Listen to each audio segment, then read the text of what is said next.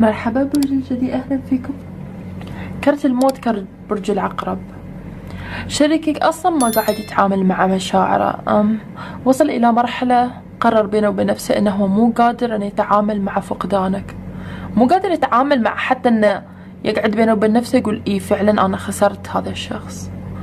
مو مستعد. فعكس هاي الطاقة عنده طاقة الهروب طاقة النسيان طاقة الابتعاد طاقة أن ألهي نفسي بشيء ثاني. مثل ما تشوف هني هذا كرت برج العقرب الموت في الكثير من الأشياء القديمة اللي يجب أن تنتهي أو تتحول عشان نروح مكان جديد. هذا الشخص قرر أنه يروح يمضي قدما ولكن لحد الآن ترى ما تعامل مع مشاعره. لحد الآن ما استوعب ما قرر بخصوصك. temperance أم كرت برج القوس وراها الرجل المعلق. شريكك الحين في حالة إلهاء في حالة إلهاء في, لاحة في حالة صبر في حالة اتباع سياسة النفس الطويل.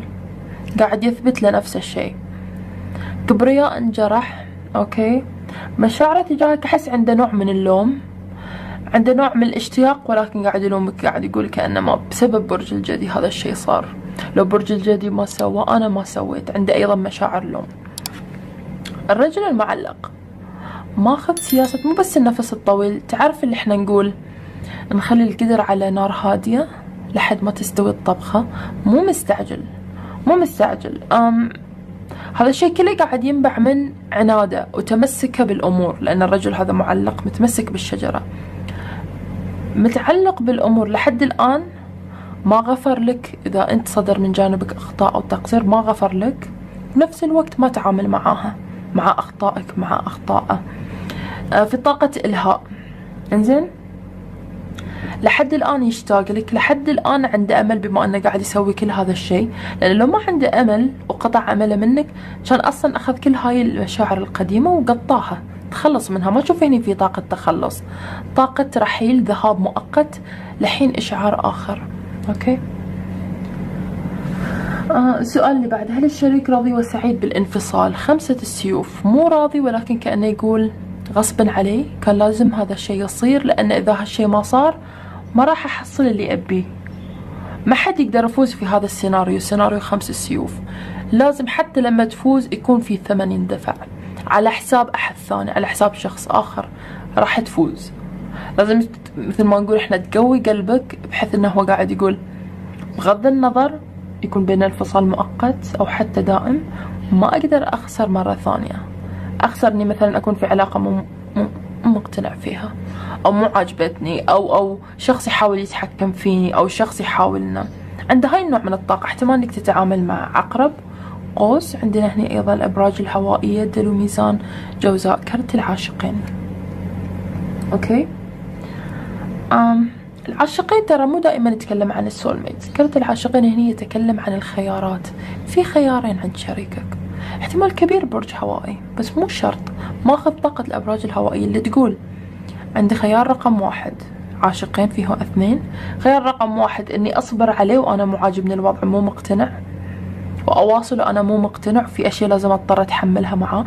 أو أتركه لحد ما أخلي برج الجدي هو اللي مستعد يعطيني اللي ابيه شنو الشريك كان يبي منك بالضبط؟ أنت اللي تعرف. شنو اللي كان ناقصه؟ شنو اللي كان مو عاجبه في العلاقة؟ مستعد إنه لدرجة إنه يتخلى عن العلاقة عشان يحصل على مراده. أوكي؟ مو سعيد ولكن هو يقول هذا اختياري وراح أقف بجانب خياري لحد ما أحصل اللي ابيه عناد أكثر. ثلاثة الأغصان. شريكك قاعد يقول لي هني إما أحصل كل شيء all or nothing إما كل شيء إما ما أبي ولا شيء. لا أبي هذا الشخص يكون موجود في حياتي ولا أبي أي شيء أسمعه عنه ولا أبي حتى أخبار تأتيني عنه. راح أهتم بنفسي. أطلع في الشمس أسافر أغير أتعرف على ناس آخرين. لأن هذا الشخص اللي أنا اخترته قبل ما عطاني اللي ابيه ما فهمني أو ما قدرني. عنده مشاعر لوم. مشاعر ردة فعل. السؤال اللي بعده ما هي خطوته القادمة؟ تسع الخماسيات راح يستمر. برج العقرب ما يتنازل أو ما ما يقرر شيء وبعدين تشوفه خلاص ينفض ثوبه ويتخلى عن الشيء اللي قرره إلا برج العقرب. ماستر الأبراج المائية. يبتدي ببرج العقرب كرت الموت ينتهي بكرتك أنت شريكك تسع الخماسيات. مصمم إذا كان رجل أشوفه مصمم مليون بالمية إنه يعوض خسارته فقده للعلاقة لأنه انجرح كبرياءه ما أقدر أحصلك بالشكل اللي هو يبيه يبيك لحد الآن يحبك لحد الآن. إي ما أنكر هذا الشيء. لكن يبي يحصلك بالطريقة هو اللي في باله. تسع الخماسيات إذا كان رجل مصمم مليون في المية إنه يفتح له مشروع ويصير صاحب جاه يصير ناجح. مو بس يصير ناجح يهتم بشكله يصير رشيق حتى إذا كانت امرأة مصممة أنها تهتم بشكلها تهتم بنفسها تضع نفسها فوق الآخرين تصل إلى أهداف مو سهل إن الواحد يوصل لها. عنده خطوة القادمة مو تجاهك أنت خطوة القادمة تجاه نفسه الوصول إلى المعالي لوحدي أعوض خسارة علاقة حب بنجاح مالي نجاح عملي نجاح حتى شكلي رضا عن نفسي. المزيد من طاقة الماء. عقرب حوت سرطان. فارس الس... فارس الماء آه سوري فارس الأكواب. فارس الأكواب هنا شنو خطوته القادمة؟ يأتيك بكوب من الحب؟ لا.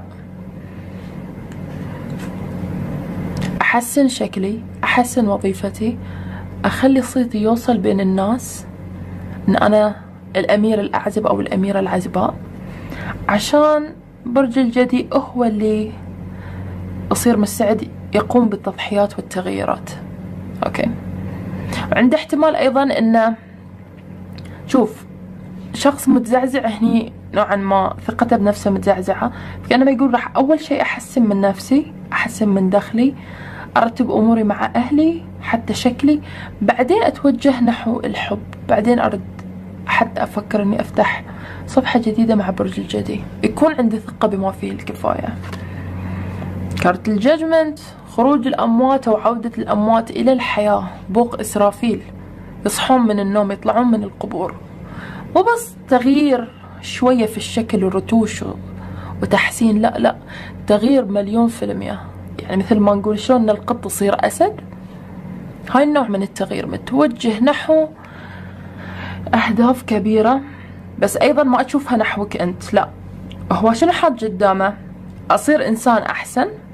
أحسن من دخلي من شكلي عشان بعدين تكون عندي فرصة أفضل مع شريك برج الجدي لحد الآن ما أنهى الفايل اللي بينكم ما أنهى الأمل أو ما قطع الأمل. لحد الآن الأمل مفتوح بس يحس بينه وبين نفسه إنه يحتاج نتائج فعلية جسدية عملية عشان يحس إنه واثق بما فيه الكفاية ويطلب الرجوع. يعتمد هني من الجنس إذا هو الرجل هو راح يطلب الرجوع أو يرد يفتح معاك موضوع. إذا أنت إذا أنت الرجل وهو يتوقع أن عقب ما يحسن من وضعه أنت اللي تتوجه نحوه وتطلب منه. يعتمد على الجنس هنا. المجموعة اللي بعدها. العزاب. أول سؤال الشخص القادم بطريقك. مواصفات الشخص القادم بطريقك يا برج الجدي. عندنا كرت برج الحوت العالمة. شخص إحنا نقول عنه سكيتي كتوم ما يتكلم وايد بس مو خجول لا. ما يتكلم لأنه ياخذ وقته يطالع الناس يراقبهم يفصفصهم يعرف الزين من الشين يقيمهم. ذكي ذكي جدا. يراقب من بعيد بدون ما ينخرط. أول شي يراقب من بعيد ويقرر هل أنت مثلا تصلح له أو لا.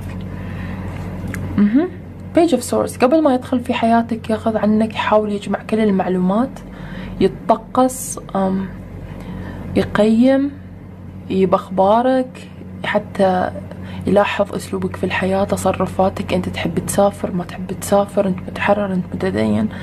ياخذ علومك قبل حتى ما يدخل في حياتك. عقب يدخل في حياتك. عقب كأنما أحس هني بعد. هذا الشخص أول شيء دائما يحاول إنه يحصل على ثقة الآخرين. أوكي يعرفك على نفسه عن طريق مثلا رسمي. يخلي وجهه يصير مألوف في حياتك. إنه شفته كذا مرة في كذا مكان بعدين يفتح معاك باب الحديث عني وعنك. عندنا هي طاقة برج الحوت طاقة الأبراج الهوائية في السيف الصغير. دلو ميزان جوزاء. الخماسي الأول اللي يكون تقديم هدية عرض. أحس هذا الشخص حتى لما يبتدي يكلمك عن الارتباط أو الدخول في علاقة طريقة كلامه جدا عملية رسمية. يمكن هو أيضا برج ترابي عشان كذي واقعي ورسمي. بس يحب يتكلم في التفاصيل. إنزين ويحب يكون صريح معاك من البداية. يشوفك هل أنت راح توافق ما توافق شنو أفكارك تتناسب مع أفكاره. في البداية ما عنده حب عنده let's get to business. خلينا نتكلم عن توافقي وتوافقك. خلينا نقرر أول شيء بعدين إحنا لاحقين على الحب. هذه نوعية الشخص. أوكي وظيفته وشكله كارت برج الجوزاء العاشقين. الإمبراطورة كانت برج الحمل. البرج هذا كرت أيضا برج العقرب. هذا الشخص احتمال كبير من ناحية الوظيفة إنه يعمل في البناء أو المقاولات أو على الأقل بيع هذا النوع من المواد اللي تستخدم في البناء. احتمال أيضا أن عندنا كرت الإمبراطورة إنه يعمل في مجال الإنجاب التوليد الخصوبة عنده عيادة يعمل في عيادة بس شيء يخص الإنجاب والخصوبة والمعالجة أوكي. العاشقين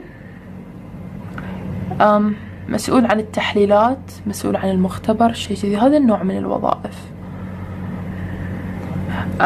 مختص بالمشاكل الزوجية مختص بالمشاكل النفسية. عنده كثير من النضوج مروا عليه الكثير من الأزواج. عشان كذي تشوف حتى طريقة كلامه معاك شوي رسمية في البداية. ما يدخل من باب الحب يدخل من باب التوافق والعرض.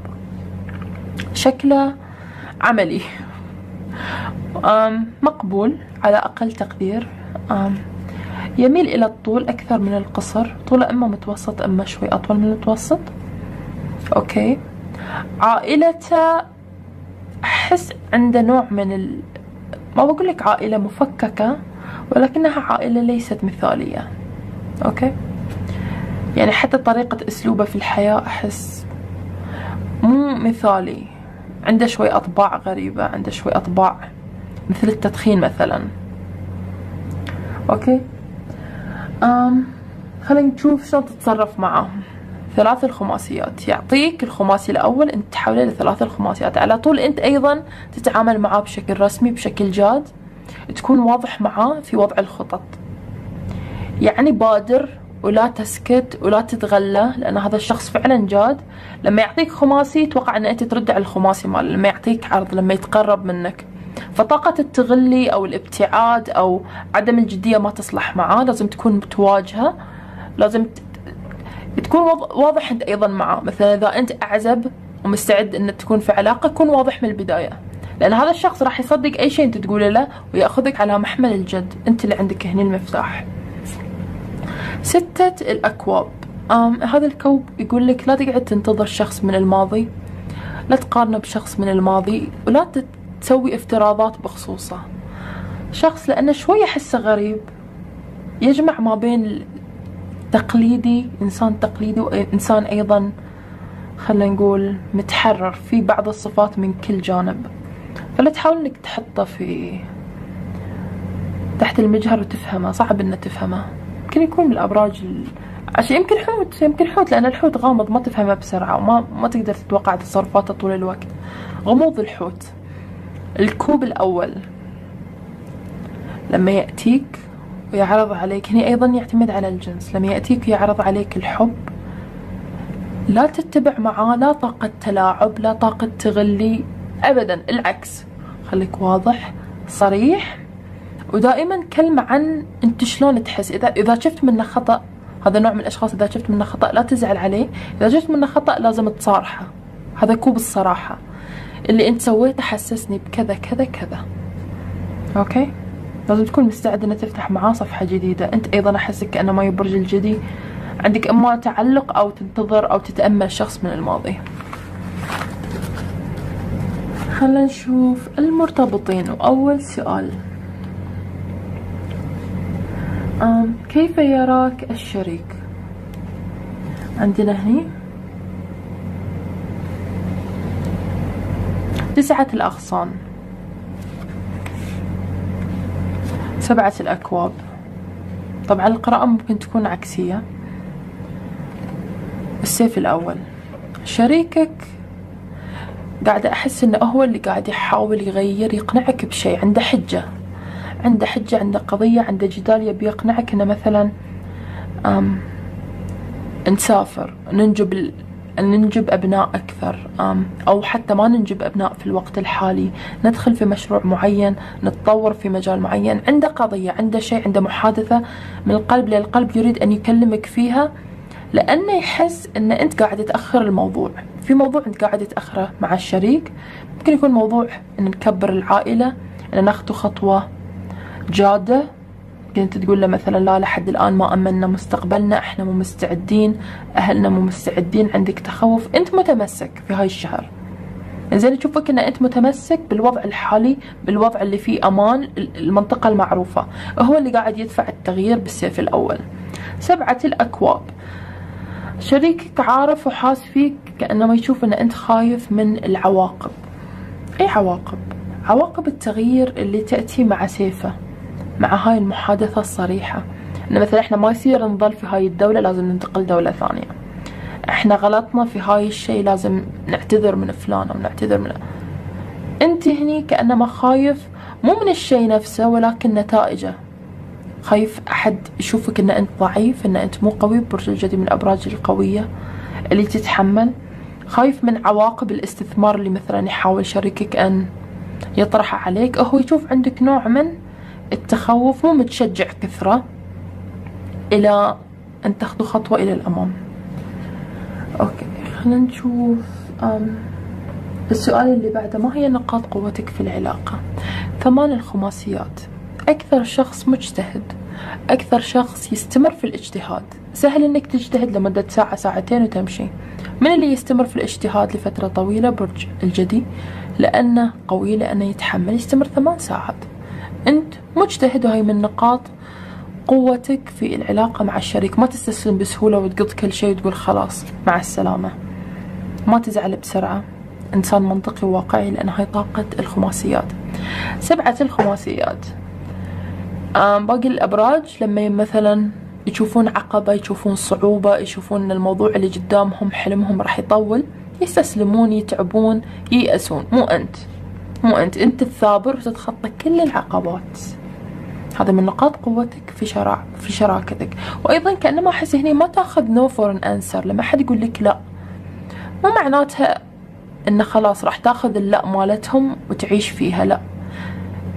ما تقبل إجابة لا. تظل الثابر وتحاول إلا ما تخترق شيء إلا ما تحقق اللي في بالك.